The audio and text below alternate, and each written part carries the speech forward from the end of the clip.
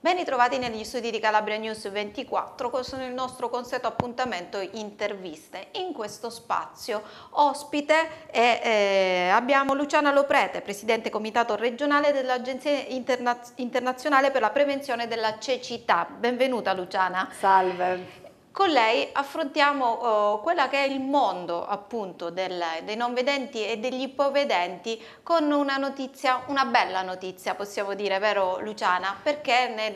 nei giorni scorsi eh, nella sala oro della cittadella regionale eh, si è tenuto a battesimo eh, quella che è la presentazione della legge appunto per lo sviluppo di servizi in favore delle persone cieche e pluriminorate, una legge fortemente voluta dalla IAB e dalla UIC, dalla Unione Italiana Ciechi Ipovedenti, eh, che ha trovato nel consigliere regionale Michelangelo Mirabelli il suo firmatario, approvata a maggio eh, dello scorso di questo anno e è riuscita a novembre ad, essere, eh, ad entrare nel vivo proprio eh, grazie a, anche all'impegno di spesa da parte della Regione Calabria di 300 mila euro. Luciana, un obiettivo raggiunto, tanto lavoro, un iter burocratico amministrativo lunghissimo, ma che alla fine eh, ha raggiunto appunto il suo obiettivo. Sì, io direi che possiamo ritenerci soddisfatti e sereni perché da oggi si può dare qualcosa in più a una categoria molto più fragile, ad una categoria che ha il diritto di ritrovare la dignità del dell'essere persona al di là della condizione fisica o della condizione eh, plur con pluridisabilità. Quindi io di, vorrei solo dire che la Regione Calabria in questi quattro anni e mezzo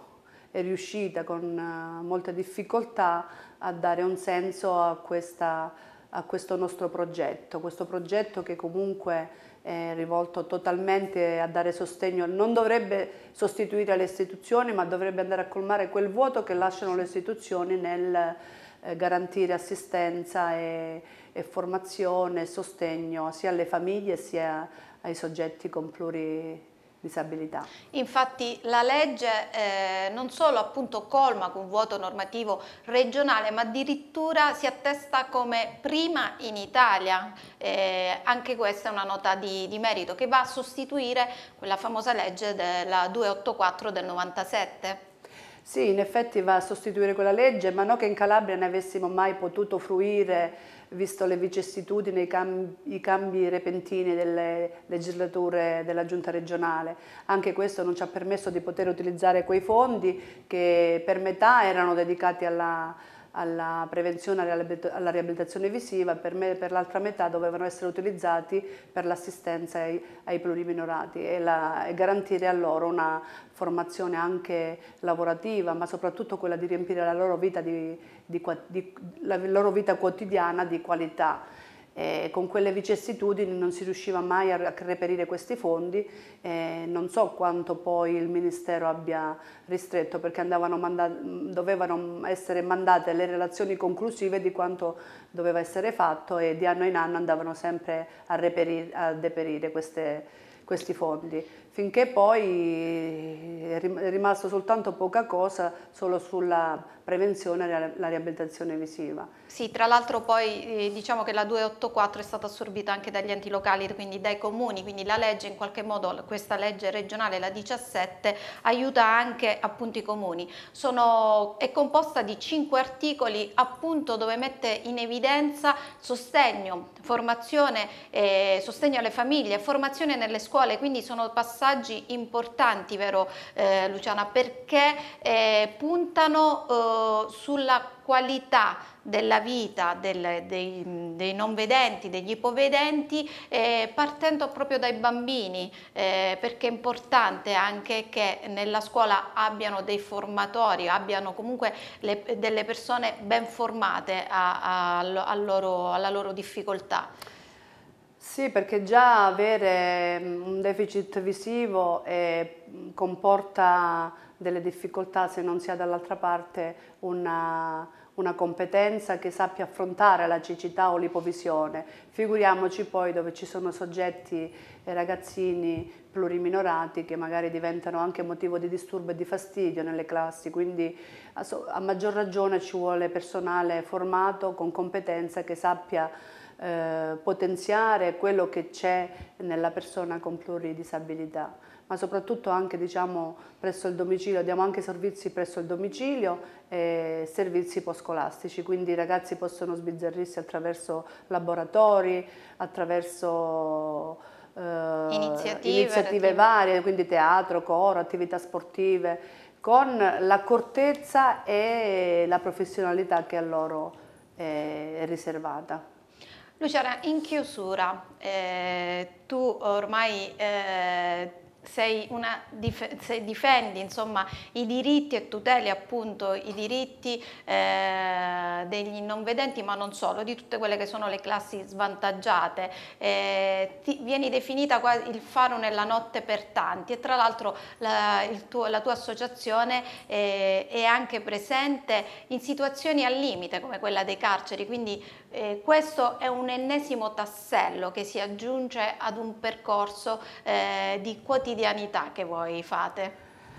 Diciamo che ci piace capire la nostra dimensione e poi da, partendo da questo riuscire anche a dare agli altri, non solo prendere, quindi il,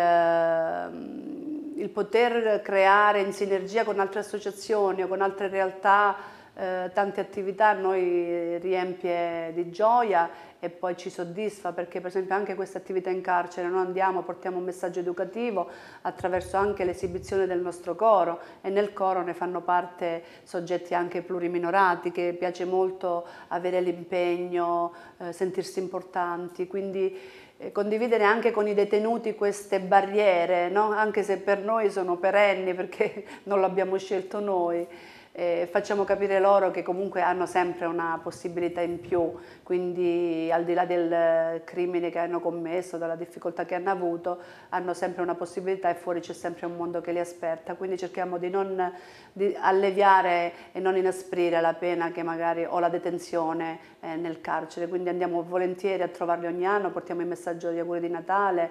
eh, due anni fa per esempio abbiamo anche portato uno spettacolo proprio il 25 novembre sulla violenza sulla giornata, abbiamo festeggiato in carcere la giornata internazionale della violenza delle donne e devo dire che siamo molto stimate, molto apprezzate anche da loro e, e lì capisci che al di là di tutto ci sono sempre anche lì delle persone che vanno comunque eh, come dire, rispettate.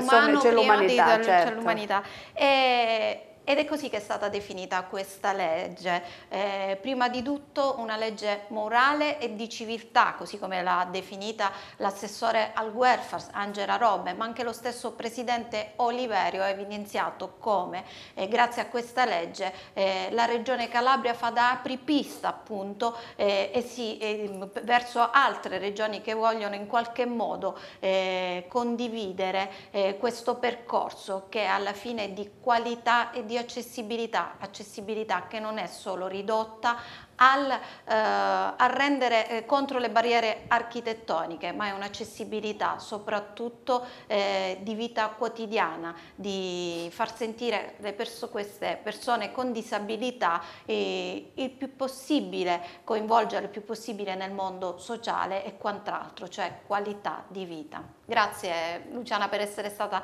con noi e soprattutto grazie per quello che fate. Io ringrazio te per avermi ospitata in questo studio, per avermi dato l'opportunità di ringraziare ringraziare non solo la Regione Calabria con quest'atto eh, di valore morale molto alto nei confronti della, delle persone più fragili, ma poi voglio ricordare a tutti che di questa legge non, non ne fruiscono solo gli iscritti all'Unione Ciechi, ma tutti i ciechi della Calabria. È rivolta a tutte le persone con difficoltà, con plurihandicap, al di là di una semplice iscrizione ad un'associazione, quindi volevo tranquillizzare anche questo aspetto, perché quando ci sono delle leggi regionali, ma poi l'Unione di suo, come ente morale, non si è mai fermata a servire, ad assistere, eh, a riabilitare, a formare solo gli iscritti, ma lo fa per tutti i ciechi della Calabria. Sì, tra l'altro la legge è passata all'unanimità, quindi non, ha neanche avuto colore politico, anzi eh, ha trovato eco in tutti i, i partiti e consiglieri regionali. Grazie per essere stati con noi.